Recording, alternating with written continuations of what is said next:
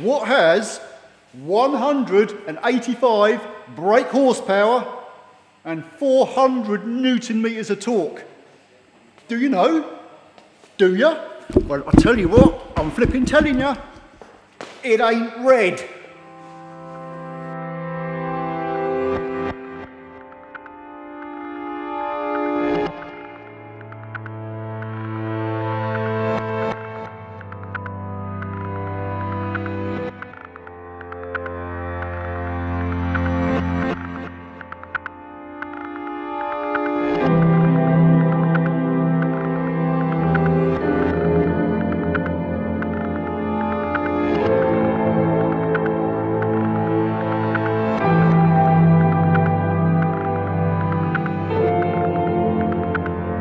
Guessed it, a Ford Focus ST. I'm telling you, when I come here every day and I'm fixing red Mondeos, to have something like this is something wow.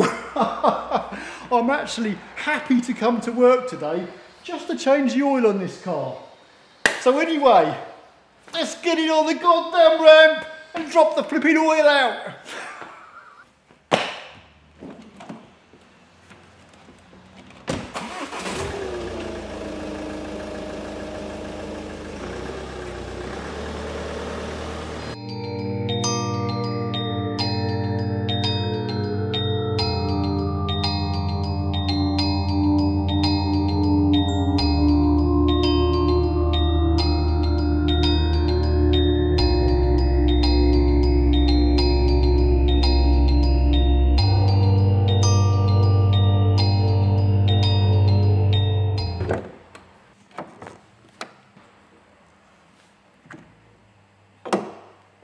Anyway, first up, there we go. Whoa, I'm liking this. You know, this top cover is probably the best part of 150 pound all by itself. Two litre diesel. The funny thing is, this is the same engine that goes in all our taxis, except for the fact that the ECU's been mapped to make it quicker. But anyway, for today, I'm going to change the fuel filter, which should be a walk in the park, and an oil and filter change. And yet, I know I change the oil and filter on these engines all the time. But this is a fancy ST. Anyway, let's get the heck on with it. The armour plating over the top of the filter is held on by three 8mm screws, which I'm going to remove. There. Put a bit of rag there, stop the spillage. Get this pipe off. We'll pop that up. Now I need to press this down like that. You can do it with your thumbs. And then this pipe should, yep, that's it. That will pull out like that. And I'll just leave that there for the minute. There's not much actually spilling out, which is good. It's the same thing with this back pipe. The only thing I'm going to point out here, where this pipe comes round, there's another pipe behind it. When you pull this pipe off, you've got to watch it that it doesn't, because it kind of gets caught on a bracket. So you've got to be careful pulling it off. They can be a bit tricky. I'm going to see how it goes.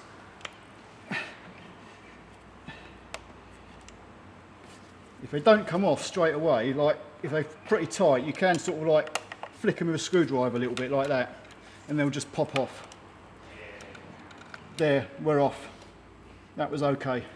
Wiring connector, you just push the tab back like that, then flick the lug up and that will pop off. Lovely. 24 mil socket size on our filter housing. Obviously don't go mad undoing it, just, just undo it nice and slowly because it is quite a tight thread with a seal on there as well. And watch your pipes, you don't catch them when you're undoing it. There. I can now it's gone all nice and easy, I can unscrew that the rest of my hand. And that should lift straight out. I'm going to flick this filter out with a screwdriver. That's actually come out.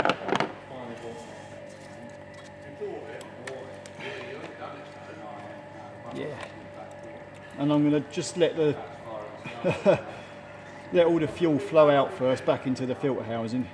There is a screw at the back of these filter bowls that you can undo and it will drain the fuel out of this bowl through a clear pipe underneath the vehicle. Or you can use a, a pump to suck the fuel out of this bowl if you wanted to. Personally, I never bother. We've never had a problem. Oh, but you must check inside here for like contamination, uh, metal specks or anything like that. Because if you get a lot of metal in here, little specks of metal, it's a sign that your high pressure fuel pump is breaking up. So you want to inspect the fuel anyway. And at the very least, uh, give it a good sort of light wipe round all the surfaces in here, make sure everything's clean, and then we'll put our new filter in. That filter's actually not too bad. Like I say, I've seen them completely black, where they actually are restricting the fuel from going through. That one has still gone on a bit longer, I'm sure. But yeah, we're changing it anyway.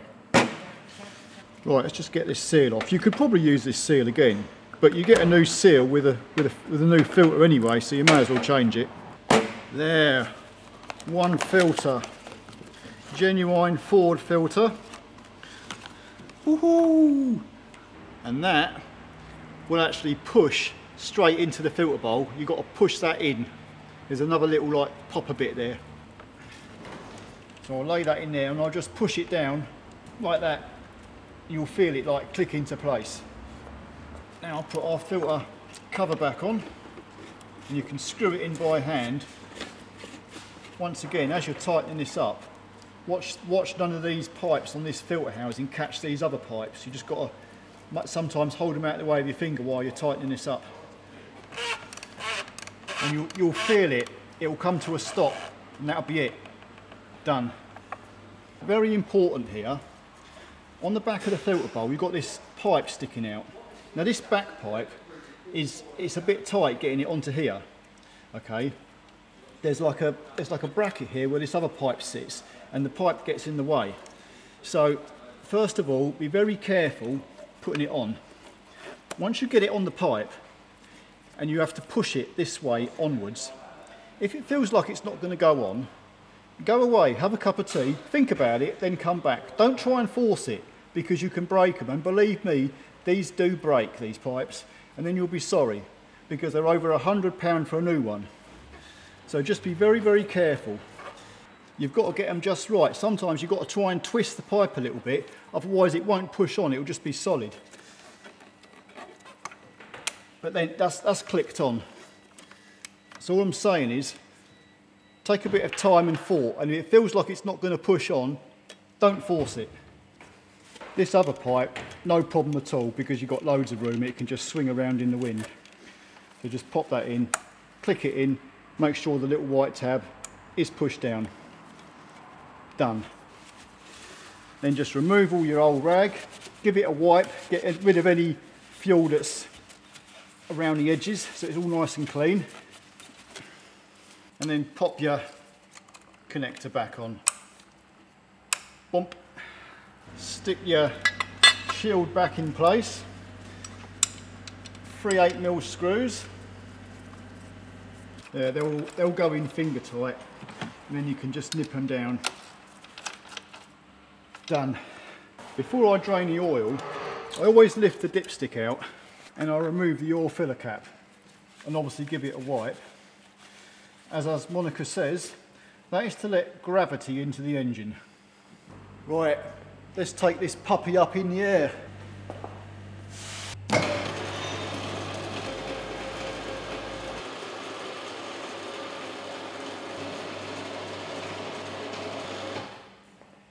If you didn't notice, to get this on this ramp, I had to put the front wheels on these blocks to raise it, raise the front wheels up a little bit. Then I can wind these pads up onto the seal. And on these actual uh, seals, they've got little arrows here to show you where you're supposed to put the jacking point for your, for your ramp or your jack. Because if you don't do that, you can actually crush this, this plastic cylind. Then you'll be in trouble. the good old under tray. It looks like we've got eight of these Torx 30 headed screws we've got to remove. Oh, in fact, I never realised that. There's three, four screws holding this trim on, and this actually, it just pops out. and then, then you've got another one another three screws holding this, this tray on. There, that's it. Then that will, that will slide forward. Woohoo! Okay, it's a metal canister oil filter.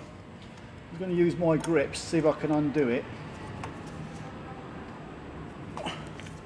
Yep, that's tight. Yeah! Flipping heck. But it's gone. We're loose. Okay, let's get the drain bowl.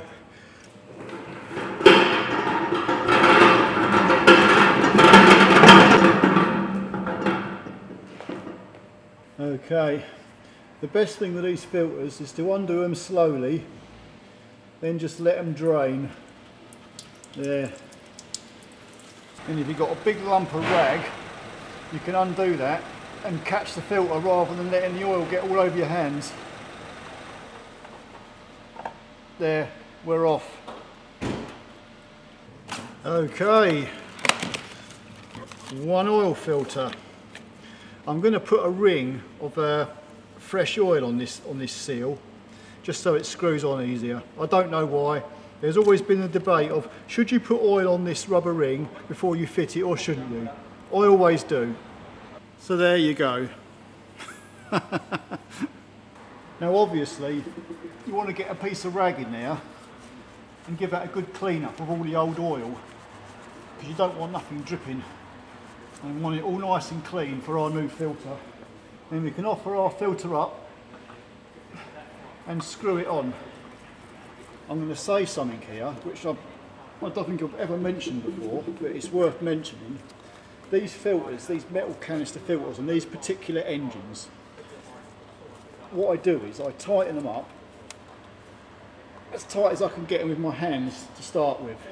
And then I'm going to put a strap on it which is something I'd not normally do. I'll explain in a minute. And I'm now going to tighten this filter up considerably tighter than I would, generally speaking, tighten any, any filter on any other car. But that is, uh, that's pretty damn tight now. The reason is, when we first got our taxi fleet, some of the oil filters started coming loose. This wasn't from new, by the way, because the, the new oil filters come on really tight. After we'd replaced the oil filters, we're tightening them up as we would normally tighten an oil filter. They were coming loose and we were getting oil leaks. Luckily, we've never had a disaster, but we've had six or seven oil filters come loose and we've come to the realisation that they need to be tightened up tighter. And some of these filters, we've actually tightened them up a bit tighter than what we thought we should have to do, and they've still come loose. So I think it's just a trait with this particular engine. And I'm not the only one that knows this. That's why we make a point of making sure these filters are definitely tightened up properly. Anyway, let's get on. Let's pull the firing pin out of the sump bung. There. Right, I do suggest being very careful taking this sump bung out because the oil tends to just gush out. So I'm going to get a bit of rag to shield me just in case. There. right, if you want, you can change the O-ring on the sump bung. Uh, I don't generally do this. I use these O-rings again and again and again. But because this is a special car, we're going to change it. So that's off. Yeah, come out. And we'll pop this on. There. And I'll just give that a, my, my fingers are covered in oil anyway, so that's lubricated it, so that's ready to go back on now. When the oil drips get down to like a really slow drip, I'll kind of get a bit of rag in there, give it a good wipe around, then quickly pop the sump bung back in and it's 90 degrees turn clockwise. Then obviously just give it a thorough wipe around. When it's all clean, pop your clip back in. That sump bung's not going to come out. Oh, the fun part. Putting the under tray back on. Right then. Because this is a, like a oil and filter service, we go over the entire car anyway. Make sure everything else is good, like wheel bearings, brakes, you name it. Top the washer bottle up for the women out there who never bother. Anyway, once I've, once I've gone around checking everything, I'll then put some 030 oil in the engine and we'll start it up. Flipping heck, 19 inch wheel rims with Michelin Pilot Sport Freeze on. Mmm. we keep the 030 oil in stock here. We buy it in like 200 litre barrels because we do a lot of oil changes. Yeah. Unfortunately, I don't have a pair of hot pants and Monica's not here to put the oil in this engine. So we'll just have to fill it up and forget that idea. Right, before I start this, i'm have to get it off the ramp because I can't open the door because the ramp post is in the way. So, heave ho!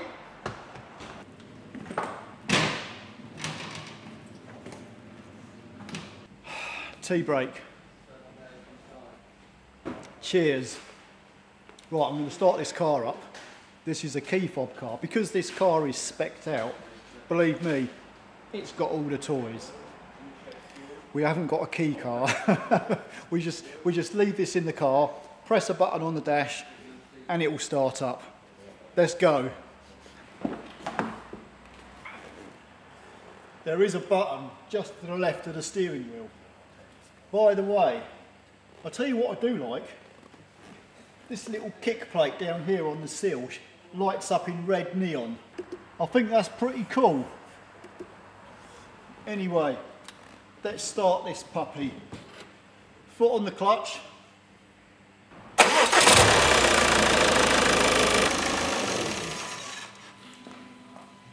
Woohoo! We'll give that a good wipe. Dip it again. Where are we? Look at that. Absolutely bang on the money. 6.5 litres, 0.30.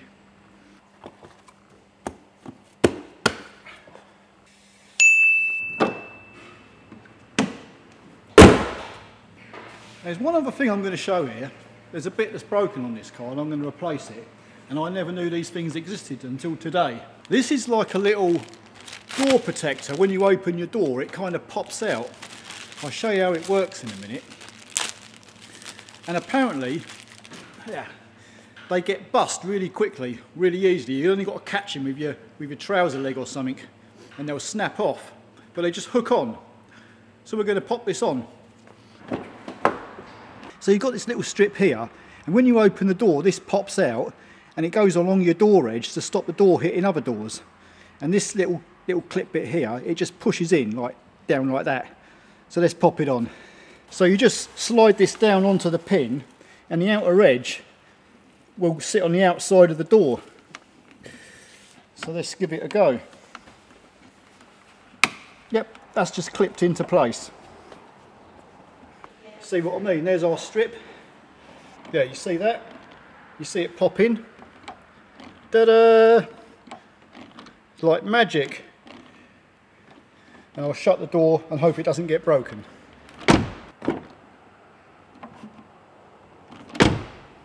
Well, that was an easy fix for once.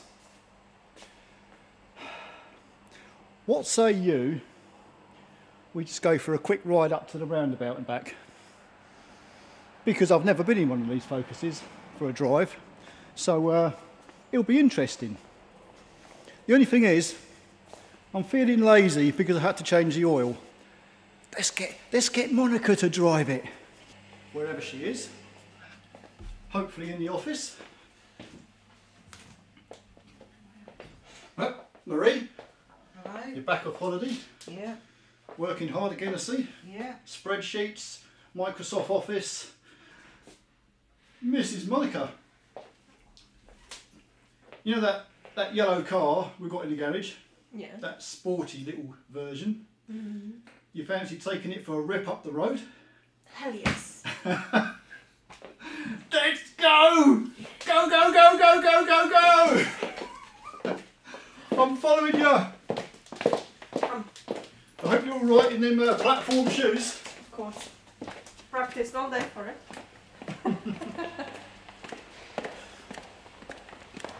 There you go, they're leather seats by the way. Leather. Not. PVC. Right, we're in. Let's shut the door. Anyway, listen, before we get going, no heroics. Hmm, I'll think about it. Right, this car, you've got a key fob here, so that just stays in the car like there. All Yeah. you've got to do is put your foot on the clutch and press that button. There you go. And just service I've- now. I've got, I've got to re, I've got to reset the service light. That's all that is. All you do is press OK on the steering wheel. There. That's it. Right.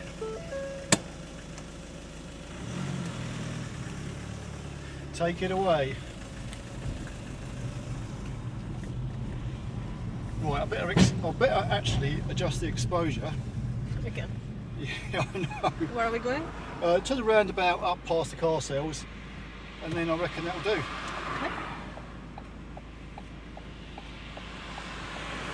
It's a careful piece of driving. Always. I bet you like this, didn't you? Yeah. What's the seat feel like? I bet it hugs you in. It does. I can't. I feel like I'm completely down there. I bet, I bet you could do a lot of miles in this car. I know. Can I keep it? I, I don't think he would actually let you have it, you know. Why not? I'll tell you something, he's got black black headlining. Mm. That's always nice in a sporty version. Well, it's ST, isn't it? This, this is the same engine what's in the um, all the taxis, except that it's been mapped to make it go quicker. Yeah. So I, I don't actually think we're going to put our foot down because uh, we don't want to be involved in an accident, and I don't trust women drivers. I know. No, you I, just I, asked for it. no, I actually do trust you, drive. Look at that. Look at that, these the- taxis. The How bloody red brilliant. taxi just pulled out in front of us. That's exactly what I'm trying to say. Flip a dick, Monica, you got your foot down in you. I'm getting a bit concerned. It's just really nice, you know. It is nice. So shall we map our taxis then? No. Could, could you imagine all our taxis being bring back so they don't go quicker? This has got 185 brake horsepower. That would be too much for half them taxi drivers. They wouldn't know what they're doing. They, they can't even stop as it is.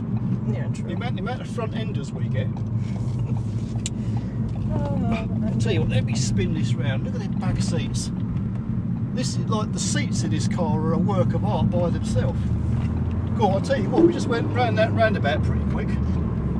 You're getting into this, aren't you? I am. You'll be wanting one. I always want one. It's a nice car. It, uh, it smells nice. Yeah. Look at up here. You've got all, you've got your oil gauge. You've got your turbo turbo boost gauge. It's got all the toys. This car is actually kitted out. It's, it's like the top spec one you can get. So if it's supposed to have it, it's got it. Yep. I'm impressed. About? I'm impressed about this car. I actually like Oh, the colour okay. as well. I thought you were gonna say about my driving, but anyway. Oh no, you. your driving is actually very good. I can see you're gradually getting your foot down a little bit further on the gas. Right. I can just imagine after you've been driving this for about 20 minutes, you'll be doing donuts.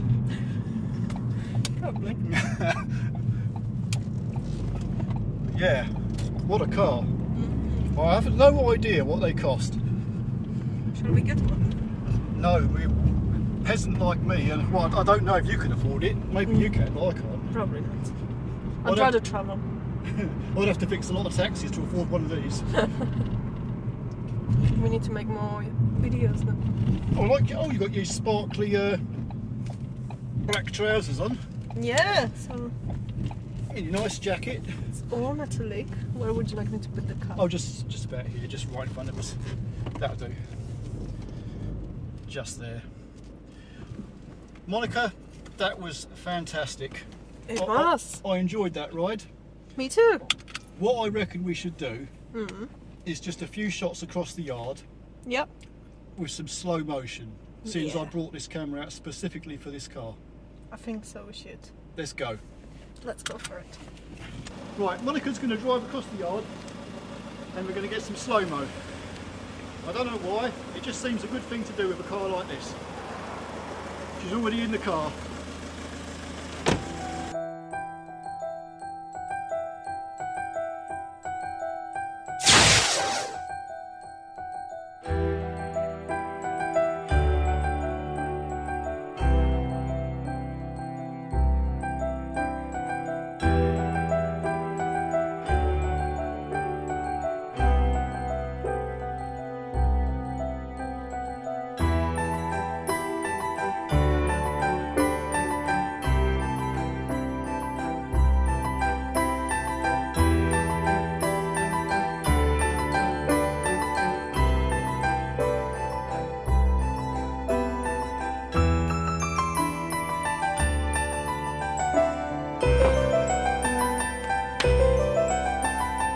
Bingo!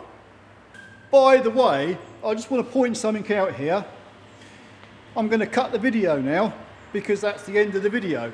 But I want to say, Mrs. Monica, come here. Yes, hello. Guess what Monica's done today? This is actually her day off work.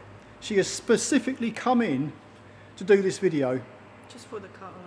Just, oh, I know, just for the car. Well, it, was, it wasn't for me, obviously. It was for the car. I know it was for the car. She liked the car. I showed her a picture of the car yesterday because the owner sent us a picture. She liked it so much, she said, right, I'm coming in and I want to do this video. So bless, Correct. bless you. Thank you very much. You can go home and enjoy the rest of your day now. I've got to do another service. Anyway, thank you very much. You're welcome. See ya. That's it, guys. That's the end of the video. Till the next time. Wait, there's more. This is my new friend Neil. He's brought his Focus ST in here. He actually found us on YouTube, so I'm woohoo! He's promoting Steve's Taxi Garage. Anyway, the sad news for Neil is, Neil, there's the bill. Thank you very much. Thank you very much. But anyway, thank you very much for, for bringing your car in. It's been a pleasure to work on it. And with that, that's the end. Cut. Till the next time, guys. See ya.